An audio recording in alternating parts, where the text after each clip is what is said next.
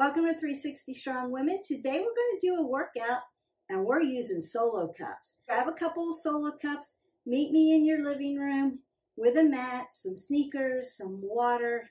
It's a party in your living room, but it's a party workout.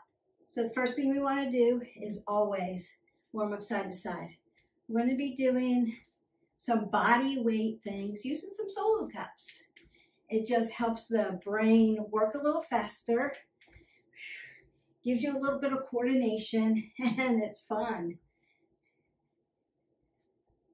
Reach up, open up that vascular system.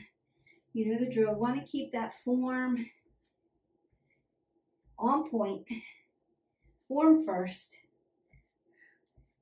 Twist out your spine.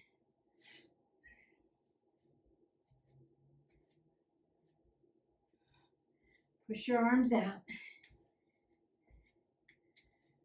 telling our body what we're going to be getting ready to do.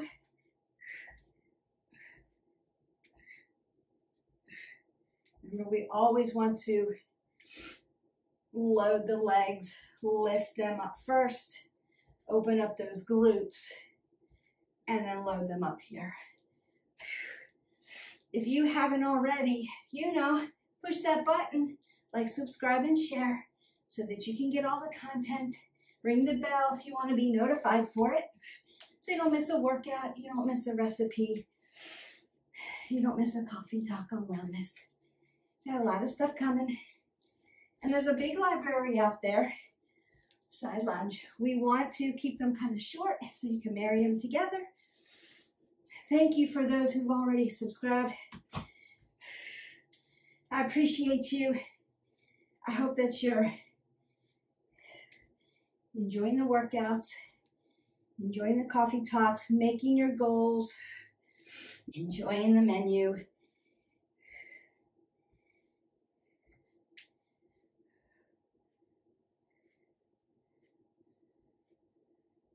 So we can get some lunges in because we will be lunging. This workout's going to be 45 seconds of work, 15 seconds of rest, we go again. A little bit of coordination using our solo cups. Go ahead and do a little bit of cardio.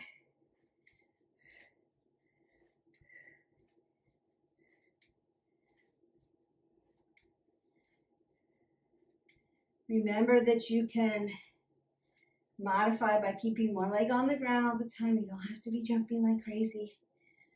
Still working those muscle groups. So if that's a thing that you have, and then just work in different planes of motion. So if that's a thing you have, I don't like jumping around, hurts my back, hurts my knees. I have issues with that. Um, I'm inside like I'm inside. Then you can modify and still get a really good cardio workout. And you can heart train by putting your body in different planes of motions. You don't always have to be running down the road. If you like to run down the road, run down the road. Don't forget to do the other things like lifting, yoga, meditation, body weight stuff. Make it consistent and make it varied. And that's how you're going to get your goals. What we want to do is we're going to use a couple of cups to do side to sides.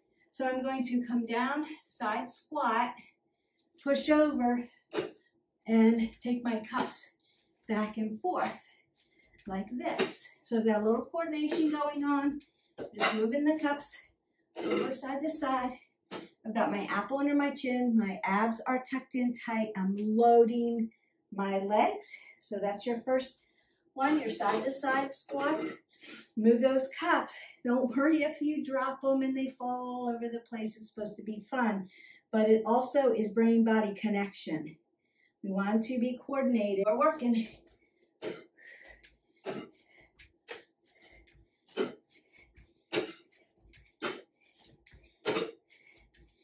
Do you find that you have a, see I missed it. Do you find that you have a dominant body part that always wants to take over when you want to be using your left? And your right takes over and grabs it. I have one of those. But we want to learn how to use both. And I missed it again.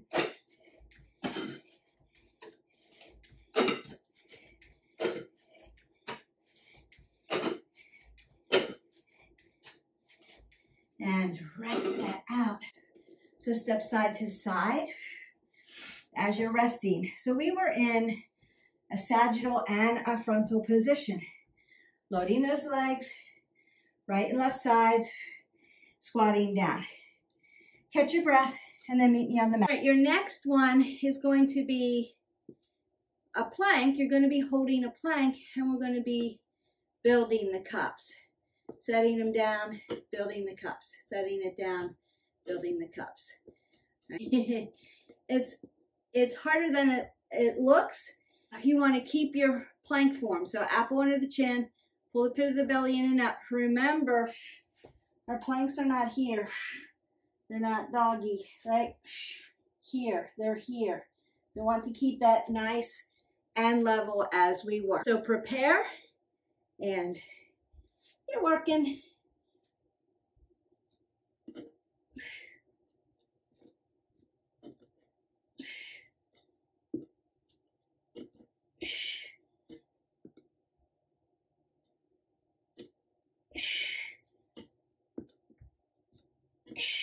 Breathe. So I have to be coordinated to use my brain and I'm working my core. And I'm in a prone position, so I'm working my heart, coming off those side to sides.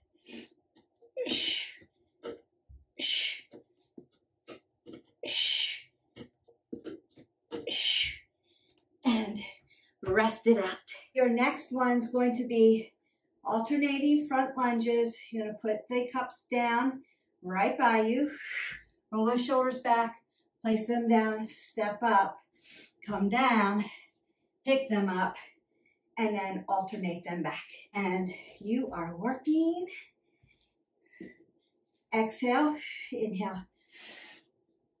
Exhale.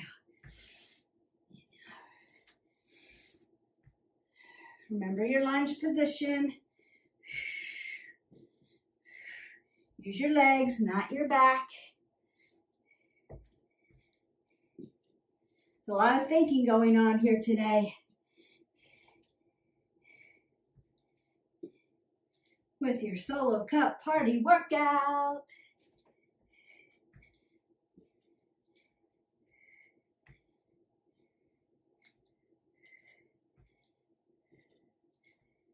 Rest. Nice job. Going on to that next one. A soccer shuffle. So tap, tap, tap, tap, tap. Okay.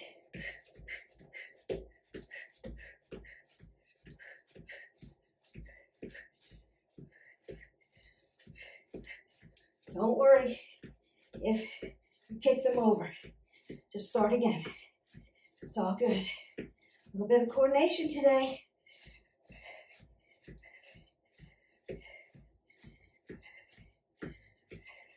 How do we modify that? Modify it here. It's all good. Just pick up your legs so you can work those glutes.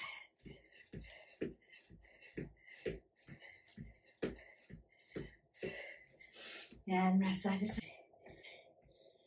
You're gonna meet me on the mat in a supine position, different plane of motion. You just need one solo cup, and we're gonna pass it from your feet to your hands in an ab exercise. I'm going to bring it to my hands and lower down. And then bring it back to my feet and lower down. Exhale. Inhale.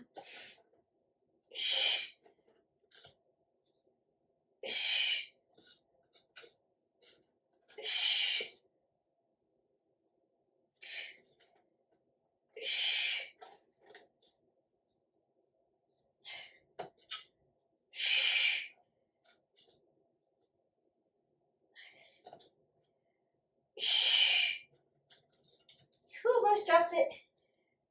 Coordination. And rest. That skaters next. So you're going to try to get from here all the way over to here. So the further away you make it, the harder it is. Try to land on one foot so that you can work not only right and left sides, but balance. So a lot of core work going on here and a little cardio. All right, are you ready to work? Set it up and you're working.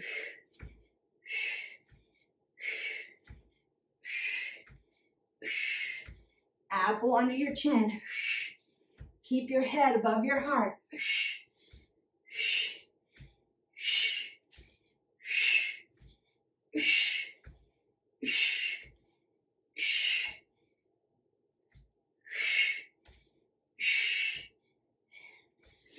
You've got this. Almost there.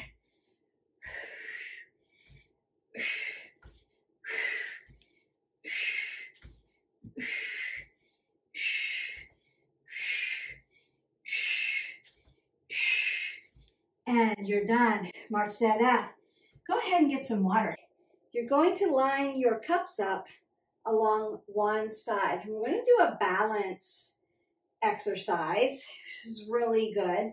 You're going to hip hinge like one-legged deadlift. Pick up your cone, put it under your leg, and squat down, put it on the other side. Hip hinge, pick it up under the leg, and put it down. Hip hinge, pick it up under the leg, and put it down, and then switch sides. Hip hinge, under the leg, one leg squat, stand it up. Hip hinge, under the leg, squat down, stand it up. Oh, my glutes are on fire already.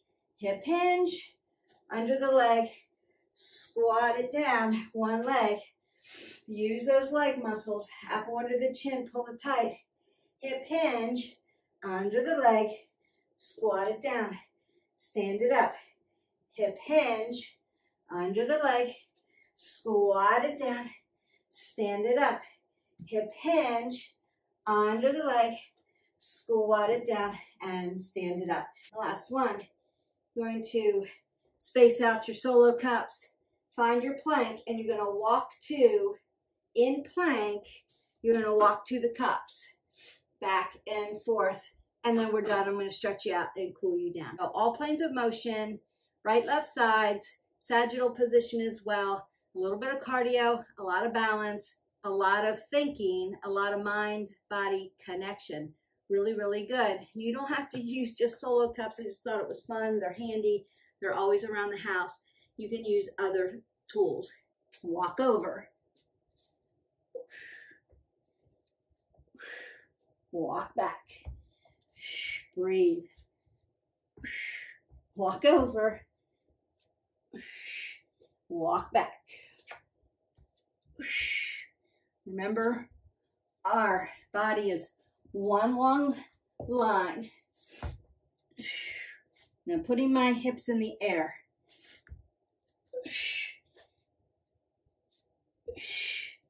Walk back. Breathe.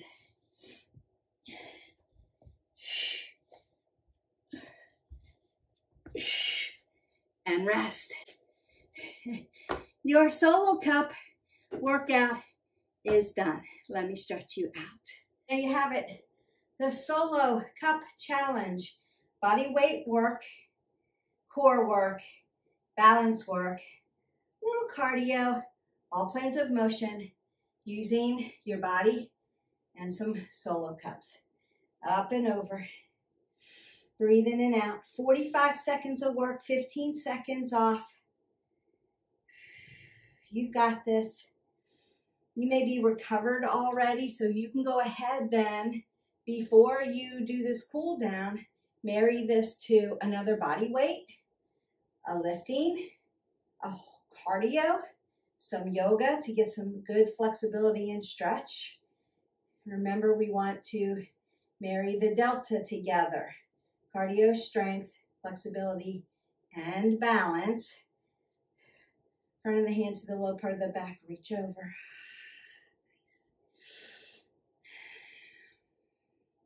You could do some breathing, and then you're done. Jump in the shower, hydrate your body, eight, eight ounces of water, and start your day. You're already on the road to success. You have earned your workout. There's a lot of science about getting your workouts done first thing. Feet hit the ground, you're moving your body. You've earned it, and you'll make better decisions through the day. It's called the small wins theory. Instead of, I'll do it at the end of the day. And what do we find at the end of the day? We find that, wow, I'm tired. I had to work longer. Something came up. Life happens, and it does. Happens to me too.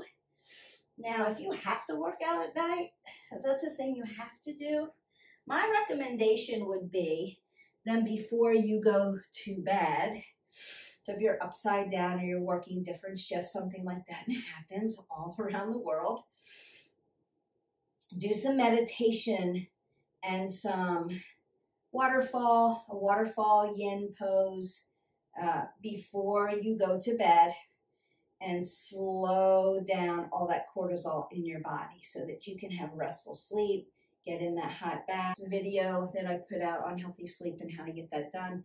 So if you are a person who, Beth, I have to work out after work, that's the way my life is. That's okay. It's doable. I've been there.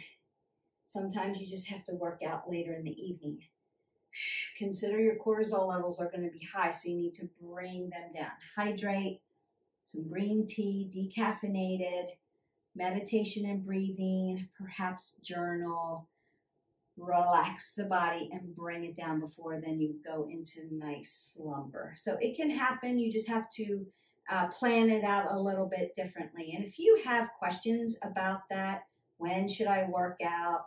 When should I eat? when should I X, Y, or Z, leave me comments below and I will get the information to you that is vetted by science. I don't do anything crazy or trendy. It could be better by science and be trendy, but I do tried and true. Tried and true. What works. Feels good. I'm to bring my knee up to my chest, open up those glutes work out my ankle joint. Take my heel down into the mat, sit into my hip, apple under the chin, pull it in tight. Same thing, roll those shoulders back, stack the scapula.